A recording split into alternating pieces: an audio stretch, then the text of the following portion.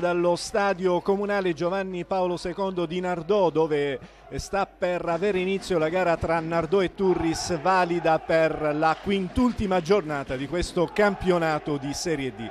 Emiliano Gravina Taranto ha perso con la Cavese in occasione dell'ultima gara interna eh, proprio due settimane fa.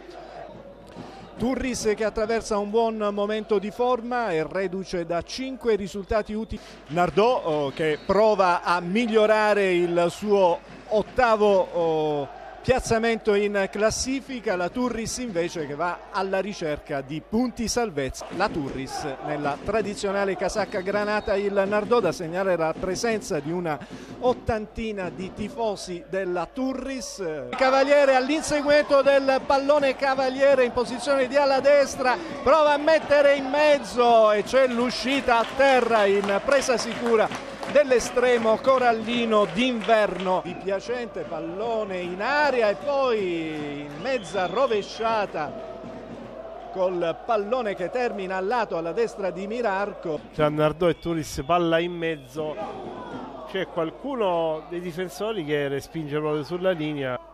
Pontillo dalla bandierina, attenzione e c'è l'autogol, credo che sia stato autogol autogol di Scipioni. E sul corner è intervenuto spizzando Scipioni tentando di liberare.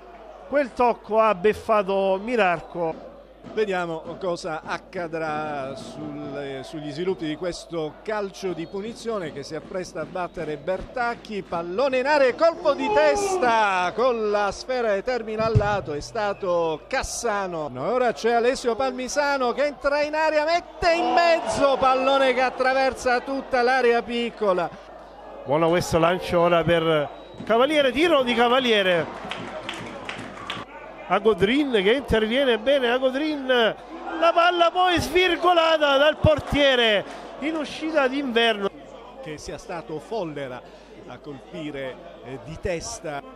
Poi, eh, poi toccherà naturalmente a, ad Antonio Romanello e alle sue riprese dare il responso definitivo. Pensate gioca in attenzione c'è Mirarco ora che riesce a sventare la minaccia. Agodirin Prinari fermato in calcio d'angolo da caso.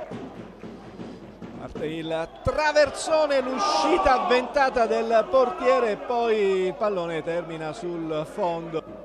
Per Alessandro Caporale cross di Caporale molto buono tagliato. Pallone però è molto vicino al portiere che interviene in verticale Scipioni interviene su Guarracino, Liccardi, Guarracino, tentativo da annoverare questo di Guarracino, ora Caporale, altra parte Caporale sull'alto sinistro. E c'è il gol, il gol, il gol di Caporale, Michele, il gol! Era un cross, però un po' di fortuna insomma Michele in pratica un cross che è andato a colpire il palo interno alla sinistra del portiere d'inverno per poi insaccarsi. Dunque al 44 minuto del secondo tempo Caporale riporta la situazione in parità.